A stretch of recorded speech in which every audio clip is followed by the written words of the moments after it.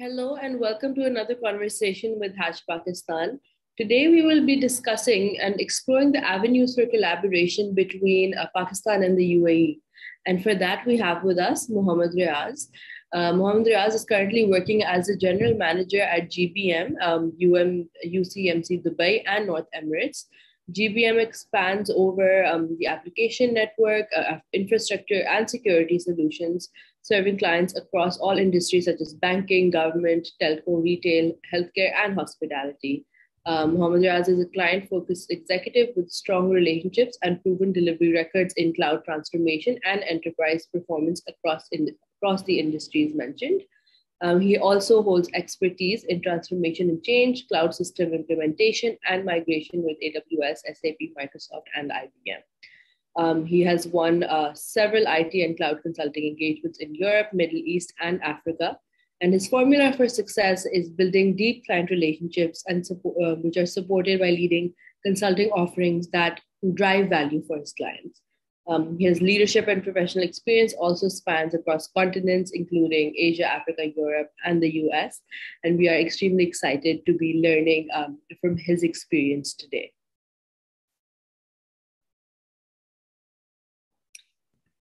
So, hello to everybody who is watching us today. Um, today's conversation is surrounding um, the topic of exploring avenues for collaboration between uh, Pakistan and the UAE. And we have with us Mohammed Riaz.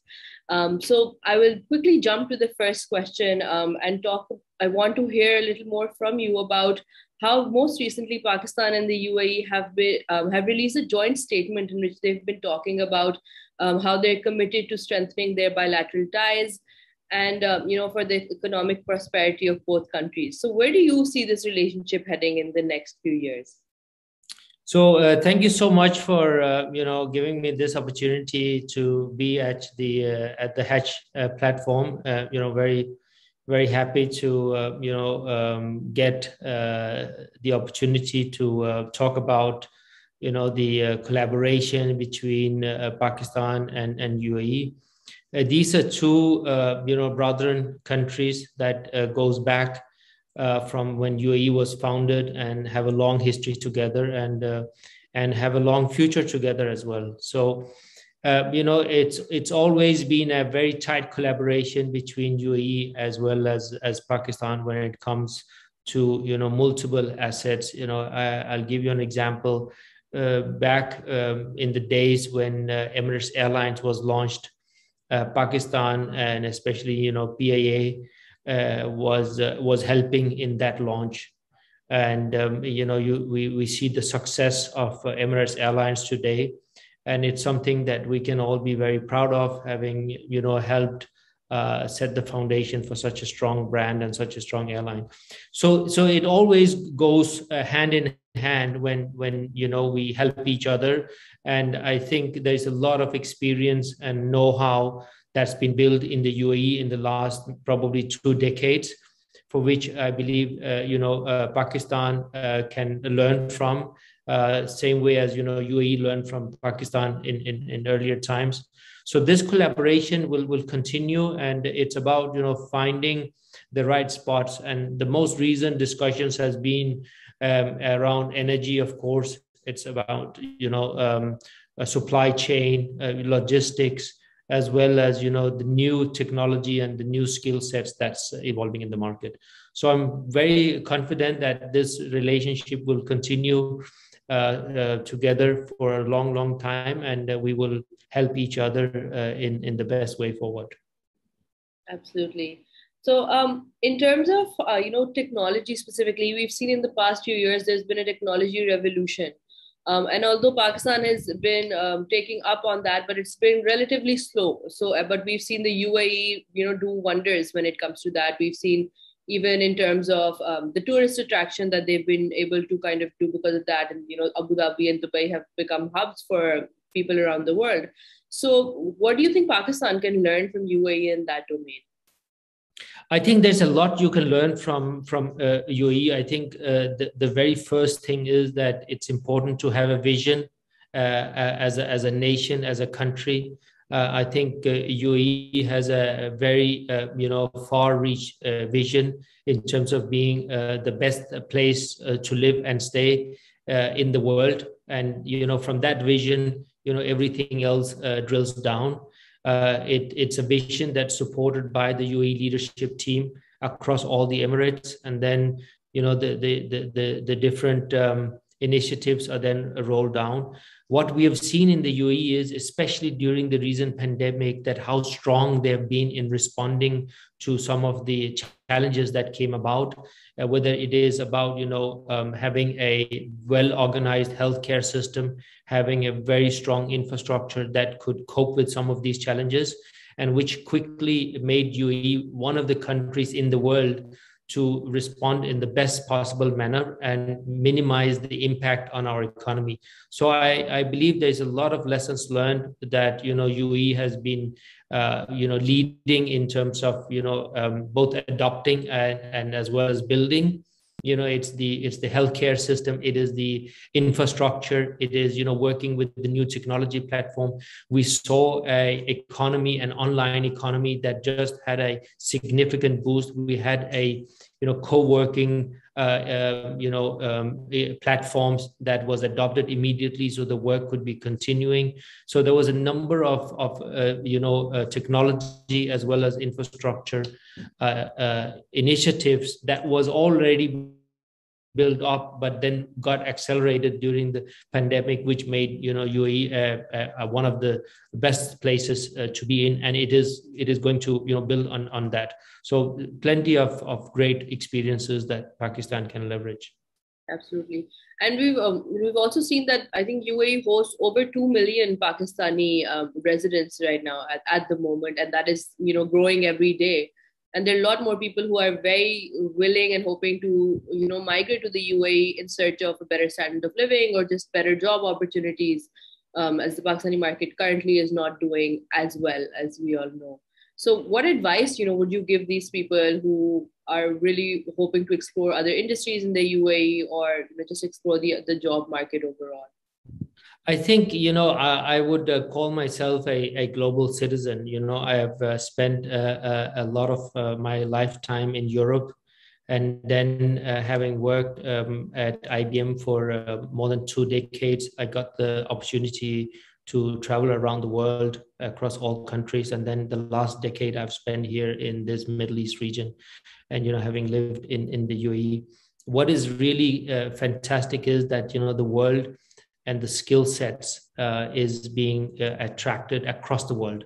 So you know even 10 years ago or 20 years ago you know a lot of the skills were not marketable outside of your country. So if you had a skill set you know you could only utilize it in your city or in your you know in your uh, country. It couldn't be uh, something that could be utilized across the world. That has significantly changed i would say. It's it's probably one of the most dramatic changes that we saw during the pandemic, right? So my encouragement to to both the um, the, the young talent, uh, you know, living in Pakistan, looking to work abroad. First of all, it is to make sure that you know you get uh, some of the skills that's in demand, right? And IT skills is in high demand. So make sure that you know you you you practice, you know, you get your certifications uh, in in these technology uh, areas and then from there on you know there is now many ways that you can you know either provide your skills and services remotely or you know come into the market. And because uh, you know there is very positive experience of talent and skills coming from you know pakistan or you know east asia in general uh, I think you know that that uh, hurdle is completely removed for people who want to move here, right? I mean, people understand the the, the culture, the values that you know you bring uh, from uh, Pakistan. you know, it's very much respected. UAE as a country is a country of um, of dialogue, of you know collaboration. Uh, you know, uh, all all cultures, all religions are are being respected so i think it's a really good opportunity for our young talents to you know embark on careers but i encourage them not to wait till you know you land uh, you know in the country but start engaging as early as possible with the potential employers. Absolutely. Uh, and so, you know, we've talked about the IT industry specifically, and of course, we, you know, globally are um, experiencing or living through an IT boom.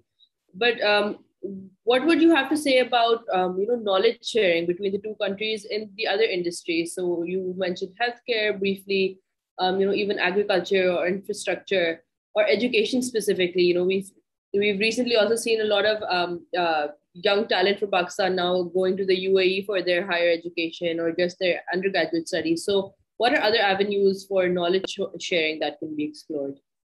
No, I think uh, look, there's a lot of uh, industries that are uh, you know global industries. You look at the uh, uh, industry like uh, healthcare, which is a very eminent industry you know when when we were hit by this pandemic you know you needed the same set of skills across the world right you you needed nurses you needed doctors and that's a field where i believe you, you know the knowledge sharing can be uh, can be uh, utilized. So some of the experiences we had in Pakistan in terms of containing this uh, virus spread, you know, could be shared uh, with with with the likewise counterparts in in the UAE another industry which is a great example is the energy sector. You know energy sector is under a huge uh, you know i would say um, transformation. The requirements of being more sustainable more energy friendly uh, you know uae being one of the leading uh, you know countries in the energy sector um, there's a lot of initiatives going on. How can you optimize? How can you efficiently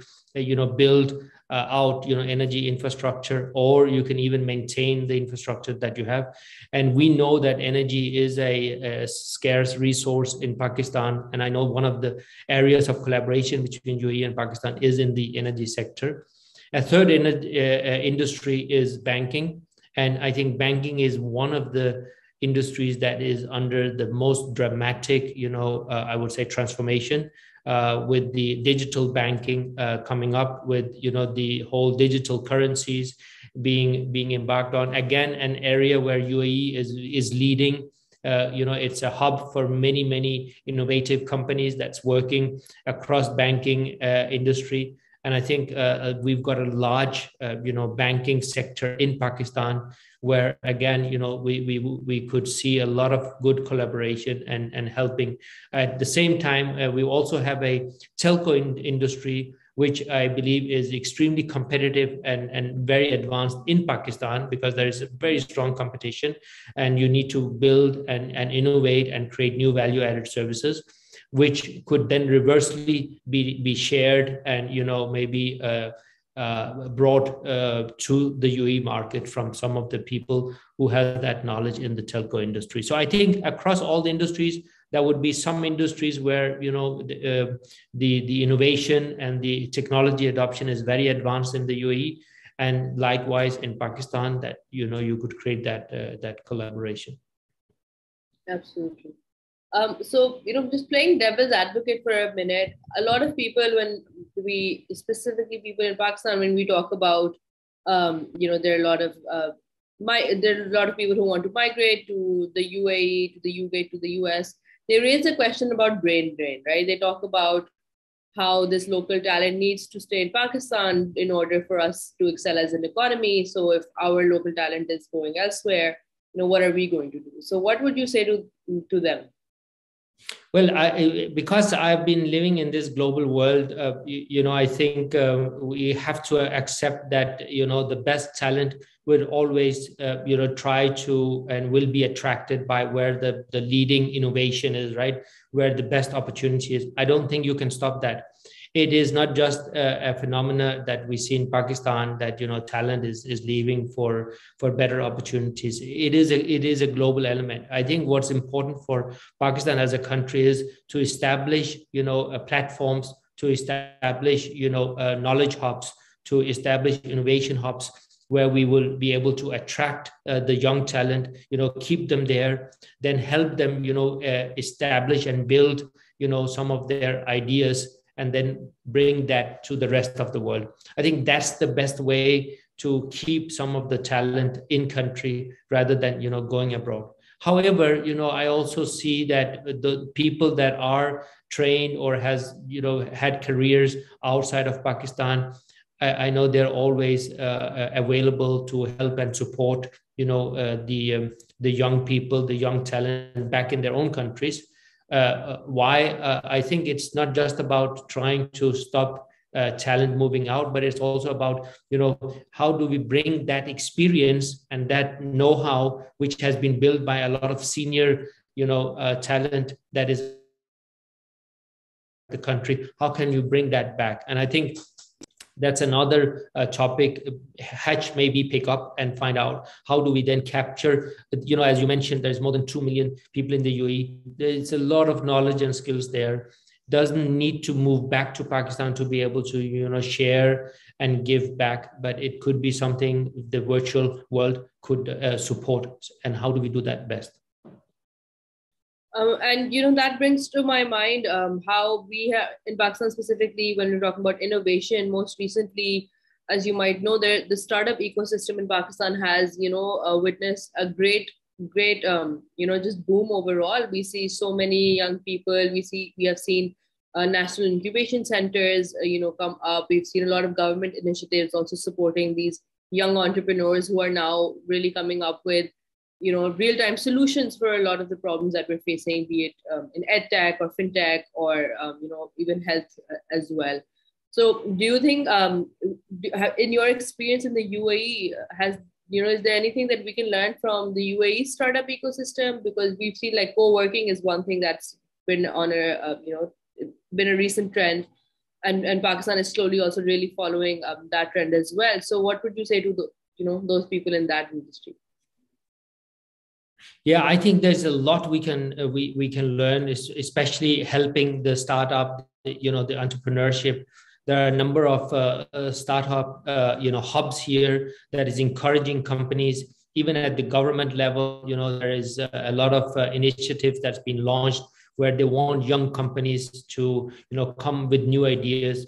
Uh, UAE has become a hub for a lot of the the new digital world uh, you know, most recently there has been a new uh, law that was issued, um, you know, in in Dubai, which is called the uh, Virtual Asset Registry, uh, you know, Authority, which is about you know the NFTs, you know, the cryptocurrency, you know, the metaverse. So so you would see that UAE is always ahead in terms of you know adopting you know the latest technologies, and I think that is partly because they have an ecosystem of young startup that you know experiment with some of these new technologies.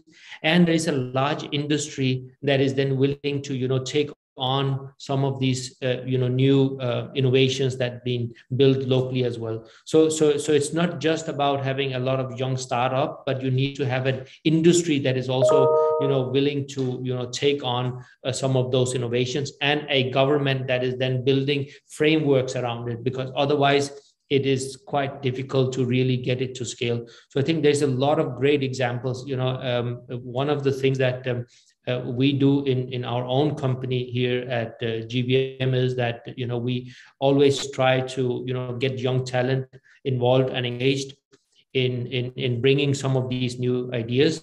And that talent can come you know from the institutions but it could come from startups. So i i think it's it's important in pakistan as well that we get the industry and the entrepreneurial hubs to work together much more absolutely and i think without collaboration that is just you know not, not uh, that won't reach the potential that it truly can.